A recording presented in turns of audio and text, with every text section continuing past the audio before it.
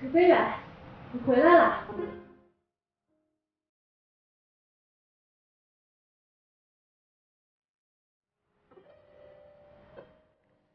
有时候，我好想做一条小金鱼啊，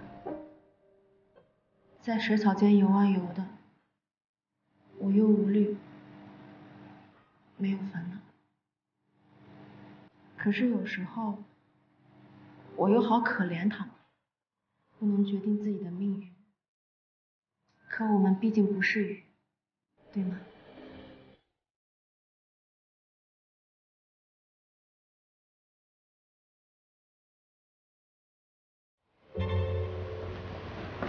我们楚家大少爷还是保留着半夜传唤别人的老习惯。你可以不来，可我还是来了。服务员，你好，一杯蓝色妖姬。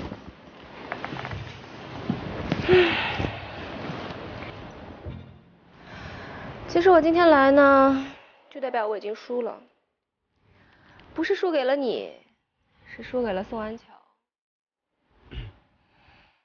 你觉得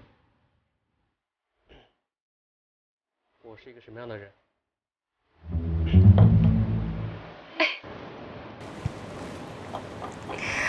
她宋小姐居然可以让我们楚飞远怀疑自己，看来我输的不冤。废话少说，那天我派人监视他，事后就发现自己败得一塌糊涂。现在我反而想感谢他，是他宋安桥，让我重新找到了我自己。少跟我提那个女人。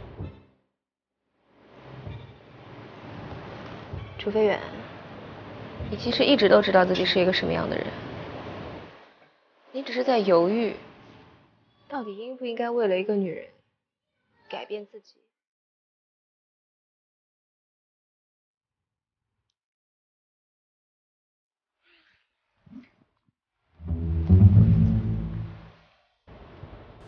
晚安啦，亲爱的。